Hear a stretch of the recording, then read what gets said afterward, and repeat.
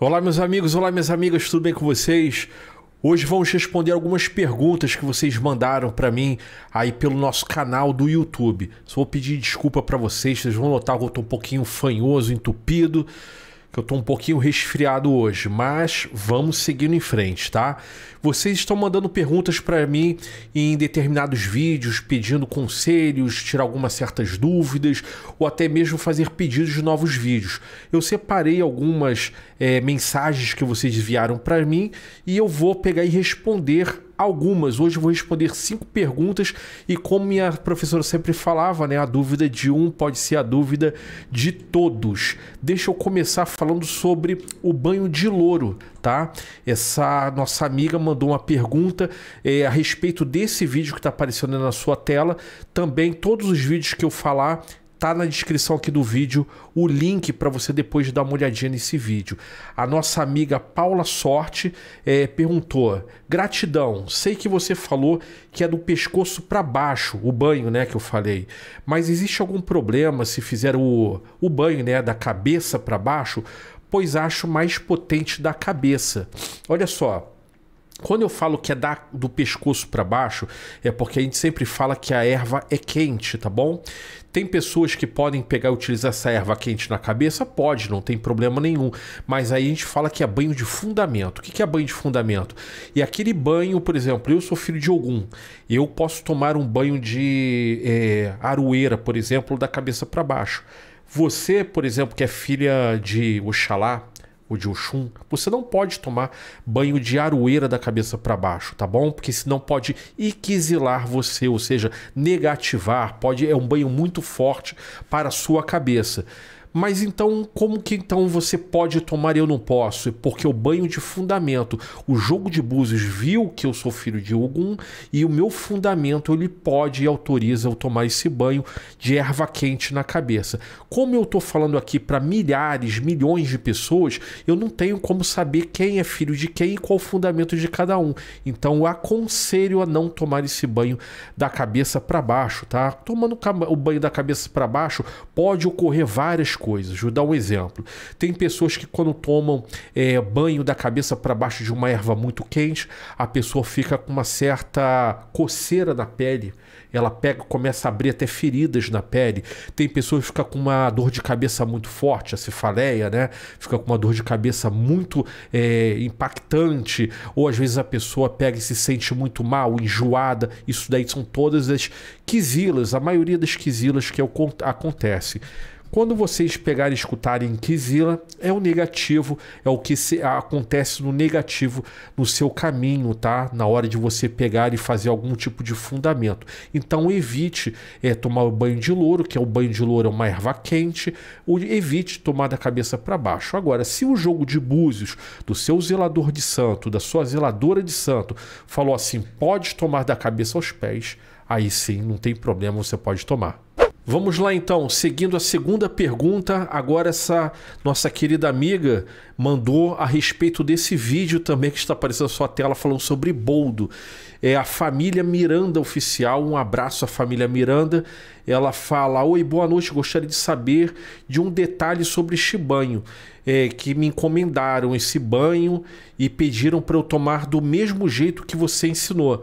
Só que no final acenderam uma vela e encheram um copo com água e colocaram acima da cabeça, no lugar alto, rezar um Pai Nosso, uma Ave Maria sete vezes. Você confirma? Confirmo, tá bom? É, simplesmente a pessoa te indicou para tomar um banho de boldo, para limpar o seu ori, para limpar o seu corpo, e logo após a pessoa pediu somente para você acender o seu anjo da guarda. Quando você acende o seu anjo da guarda, você coloca um copinho de água ao lado, né? E você coloca sempre no local acima da sua cabeça. Se não tiver algum local acima da sua cabeça, você pode colocar em um local é, bem afastadinho, tá? Não, olha, atenção, não coloque vela do anjo da guarda no banheiro e nem no quarto onde você do, dorme, tá?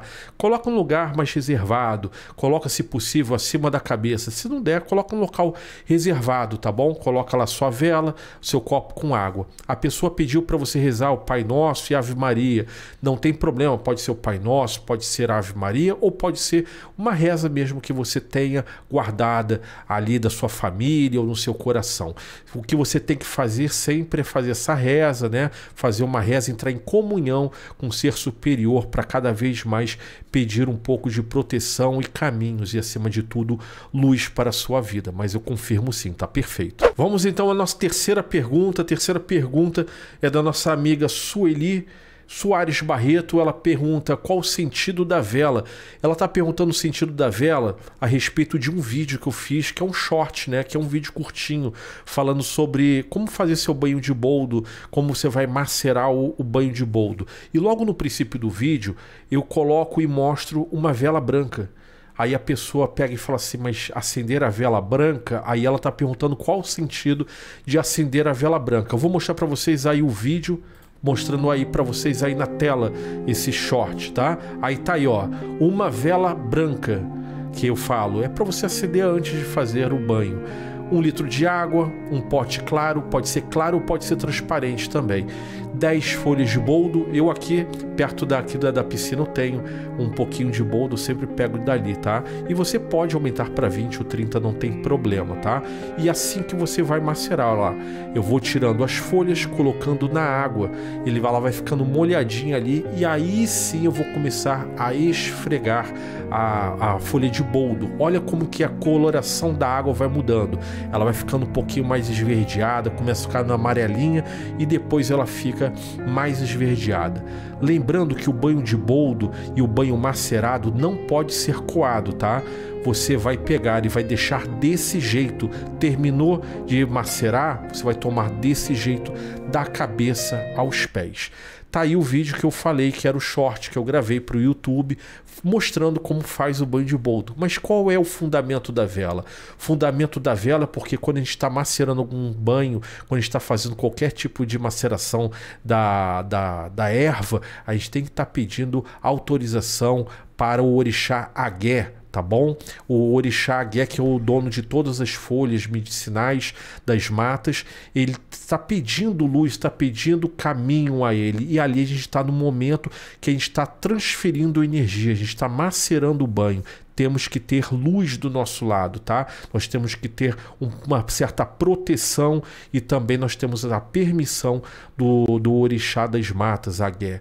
Então a gente acende uma vela para pedir proteção, autorização e para ajudar na transferência dessa energia. Sempre que a gente for macerar um banho, a gente sempre acende uma vela.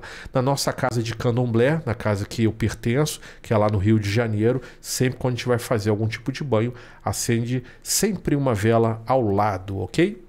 E continuando, quarta pergunta, mais uma vez sobre banho de boldo também. O pessoal sempre pergunta muito sobre os vídeos do banho de boldo. A Kátia Esteves perguntou: Eu quero saber se o banho de boldo abre caminhos para emprego. Eu vi uma pessoa no YouTube falando que sim, mas que para isso tem que tomar banho de boldo toda semana. Eu não sigo o que ela fala, tenho dúvidas. Se ela aprendeu dessa forma, que abre os caminhos para emprego, banho de boldo, então não tem problema. Mas vamos lá, banho de boldo é uma energia que a gente extrai ali daquela plantinha para lavar o nosso ori, para limpar, para acalmar a nossa cabeça, para dar uma certa paz. Não é abertura de caminhos. O banho de boldo pode ser utilizado de, com combinação com algum tipo de ervas para abrir caminhos? Sim, mas lembrando que o boldo é uma erva fria, ela vem para para apaziguar, ela não vem para dar ação às coisas, para abrir algo, entendeu? Mas a gente pode sim pegar, utilizar ela com outro tipo de erva, sim, para pegar e dar aquela energia de abertura de caminhos e também acertar, apaziguar para evitar daquele estouro, né? Você colocar uma energia muito quente na sua cabeça. Vou dar um exemplo. A gente pode pegar e utilizar muito uma, uma erva chamada abre caminho do pescoço para baixo e logo após utilizar o boldo. Por quê? Abre caminho uma erva muito quente, muito forte, e aí depois você protege o corpo com boldo. Mas o banho de boldo, somente o boldo, ele não tem propriedade para abrir um caminho, para arrumar emprego, para lhe dar uma, abre aspas, vitória na sua vida. As ervas que eu posso lhe indicar seria a, a erva guiné, abre caminho, para-raio, aroeira, assim por diante, tá bom? São ervas mesmo de abertura de caminho. São ervas que vêm muito, ó, do papai Ogum, tá? Pode ser utilizado também ervas também de Oxóssi, são ervas de abertura de caminhos. A erva a plantinha, né, boldo, ela vem na, no caminho de papai Oxalá, que seria a paz, a ternura, a calmaria, a criação de algo novo, você gerando algo novo, assim por diante. Mas boldo, somente boldo, ele não tem essa propriedade de pegar e abrir caminho e, e conseguir para você um novo emprego. Também, né? Para conseguir um novo emprego, você tem que levantar também, né? E falando da nossa última pergunta hoje que a gente separou é da nossa amiga Ana Lúcia. Ela fala muito grata pelos ensinamentos. É, você poderia ensinar um banho para liberar a criatividade?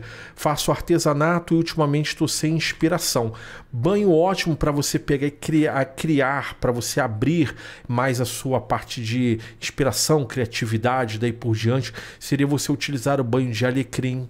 Ah, o banho de alecrim ele pode ser tomado, ele é bom para ser tomado da cabeça aos pés, tá? Cinco ramos de alecrim, um litro de água a temperatura ambiente, macera banho da cabeça aos pés. Outro banho também anis estrelado mas o anis estrelado você vai fazer infusão, são 2 litros de água, coloca para ferver, abriu fervura, apaga o fogo, 6 anis estrelado, deixa baixar a temperatura, banho do pescoço para baixo. E outro banho também que eu posso indicar para você, você pode fazer até um combo, tá? É muito bom esse banho que é utilizando saião e colônia, tá? Aí você coloca 2 litros de água, você vai colocar 5 folhas de cada erva, 5 folhas de saião e 5 folhas de colônia. Você vai rasgar elas todinhas, colocar nos 2 litros de água temperatura ambiente, vai macerar e esse banho é da cabeça para baixo. Utilize também muito incenso doce, pode ser utilizado incenso, incenso de erva doce, pode ser utilizado incenso de canela.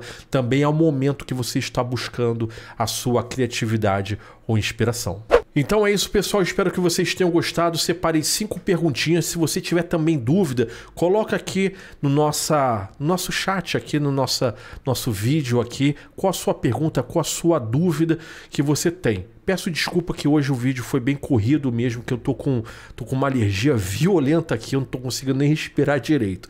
Mas logo logo estaremos com um novo vídeo aí no ar, tá bom? Não deixe de se inscrever, de compartilhar e curtir o nosso vídeo. Um grande beijo para todos e para todas. Fiquem com Deus. Saúde e paz.